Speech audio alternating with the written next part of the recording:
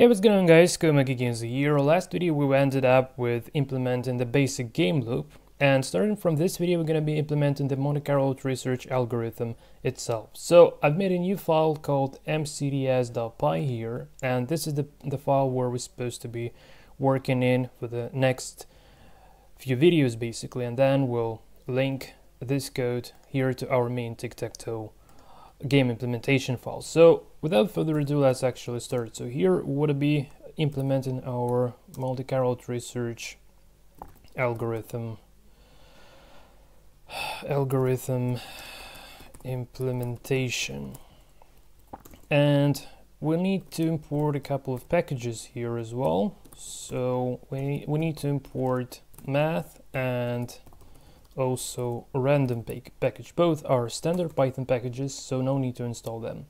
Okay, and now the most essential uh, part of the algorithm itself, without this part, it's not going to be working basically. So we need to define the tree node class. So uh, we have this tree node class definition.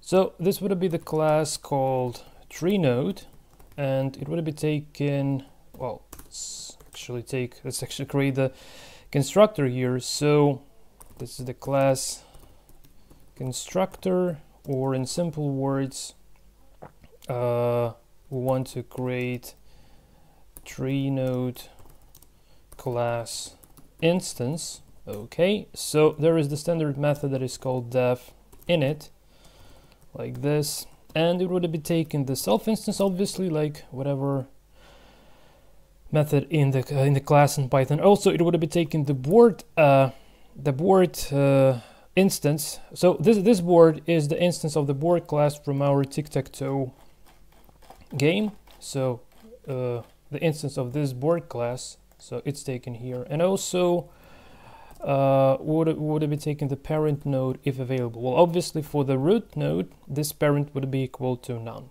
But, well, that's the general structure of, uh, of a tree node, basically. So, uh, now we need to initialize uh, all the inner fields of this tree node class uh, to make sure not miss anything. So the first one, uh, we, want, we want to initialize associated board state. So it would be equal like self.board equals to the board. So every node let's say we, we've just created a node and we need to make sure that uh, we do associate a current board state that represents the current position within our tic-tac-toe game with sites to move uh, well basically with, only with the sites to move and that's it. And it would be stored here in self.board variable. Uh, another thing to consider, uh, we need to, to find out whether the node is terminal. Uh, uh so let's say terminal mm, well is is no terminal uh, and it's a flag. So uh, by saying terminal, uh, uh, I obviously mean like the game might be either won or drawn, as it was implemented already in the previous parts within this series. So we can simply say if and self.board dot is win or self.board dot is draw. So in this case, uh, we need to set uh, so in this case we have a terminal node which means that the game is over basically. So let's say self dot is terminal would be equal to true. And otherwise otherwise so else here we have a non-terminal. We have a non-terminal node. So here we say self dot is terminal would it be equal to false. Uh, another thing to consider, uh, we want to initialize parent par parent node if available. So we need to say self dot parent would it be equal to parent. So this parent uh, is the instance of the tree node class. So in case of the root node, it would be none, obviously, because the root node doesn't have any parent nodes. But for all the uh, child nodes, for, for, for the children, uh, this uh, parent node would be the instance of the node that has created the current node, basically.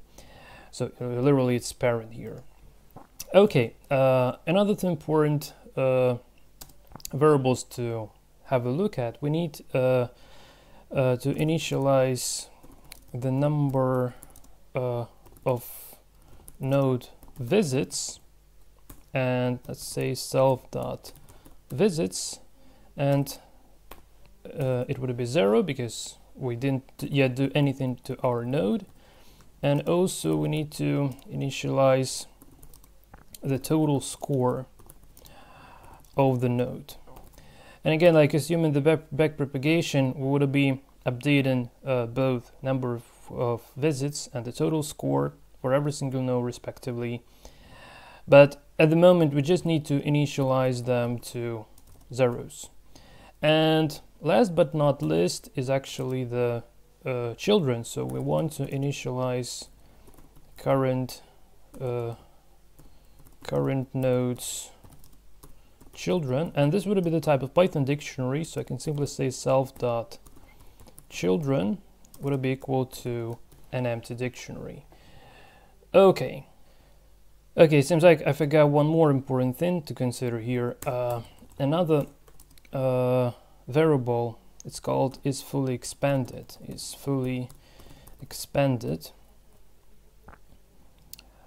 Uh, let's say set uh, is fully expanded flag.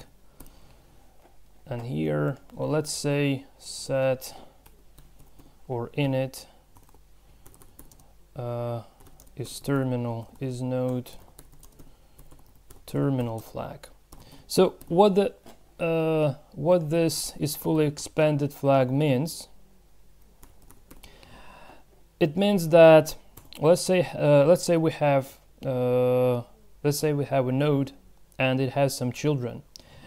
So by saying fully expanded, it means that uh, all the children this node has has been created. Well, uh, in Monte Carlo tree search, uh, it's not done just instantly, so it's done mm, on demand, let's say. Well, it's not really scientific term, but I'm just trying to explain this as, as easy as possible. So Anyway, uh, at the very beginning, we need to set this is fully expanded flag uh, equals to is terminal. So uh, obviously, when we start, we have uh, a non-terminal uh, flag, and uh, that's the reason why we are setting this is fully expanded flag to the value of is terminal flag. So let's actually do, do this by saying self dot is fully expanded equals to self dot is terminal. Okay.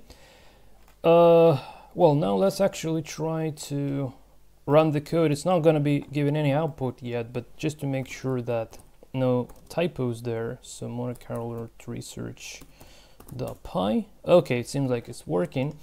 So from now on, we can actually import this Monte Carlo tree search uh, module to our tic-tac-toe file and yeah, probably we'll try to create the instance of this tree node class just to give you an idea of how it looks like. So here I want to say from Monte Carlo tree search, I want to import all, all available there, this star. And then in the main driver, instead of going for a game loop, let's actually try to create uh, a tree node instance so we can say let's let's create a root node first. So the root will be equal like um, tree node and we need to pass the board.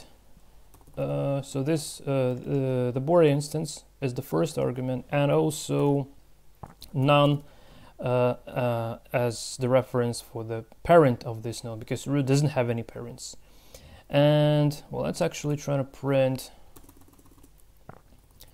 the inner fields of this root node. So print root and dictionary like this. Uh, so Python 3 tic-tac-toe.py. Okay, and here we go. So we have all this uh, sensitive fields of the node class been printed.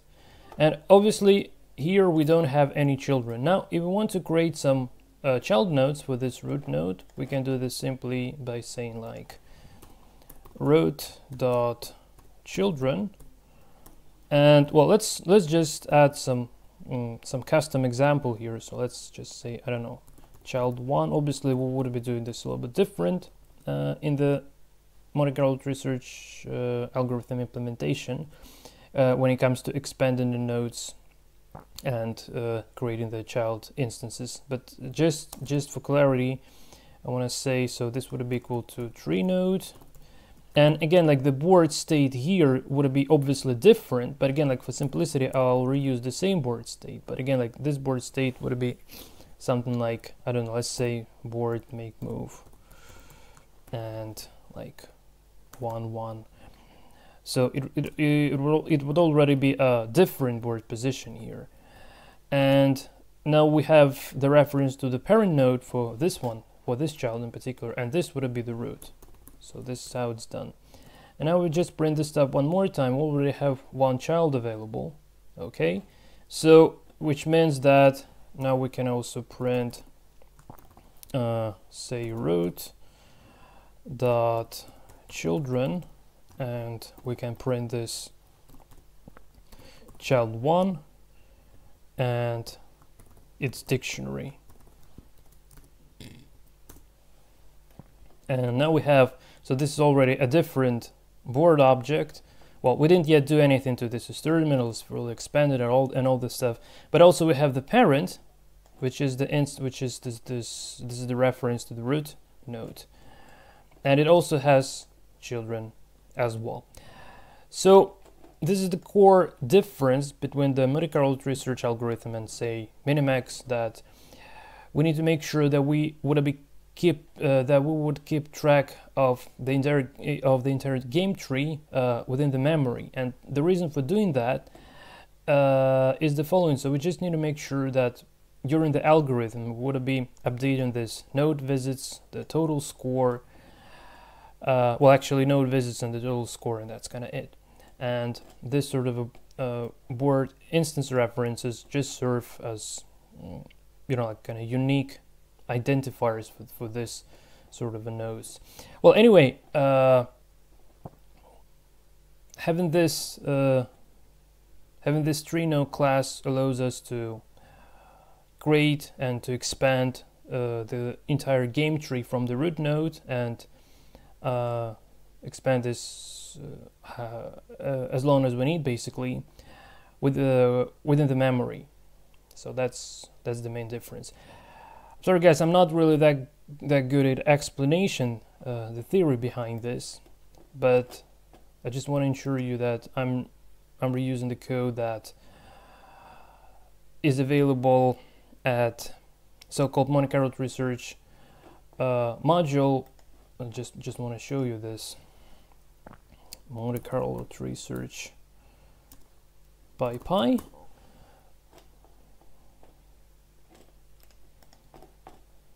I've altered this code slightly a bit to fit our tic-tac-toe purpose, but anyway, you can find the original code here in this GitHub repo. So we just have a look at this Monte Carlo tree search.py. You see like this tree node that we've just implemented and also the algorithm related code as well. But again, like uh, I've reworked this a little bit to, to fit. So this is kind of like the general form of the algorithm. Uh, it's not uh, related to tic-tac-toe in particular, but uh, I've changed this so it would be tic-tac-toe specific, let's say so. So that's that's kind of it. But again, like just just to make sure that the code is not something that I've handcrafted on my own. This is something that we can trust because this is the PyPI library. So I think this should be right. well at least it works so it's already kind of good uh, good sign for us okay guys so this is it from my side i hope you enjoyed this tutorial and in the next video we'll start implementing some core methods uh, within the Monte Carlo tree search class that we'll create in the next video to actually uh, the logic for searching the proper nodes within our game tree. Hope to see you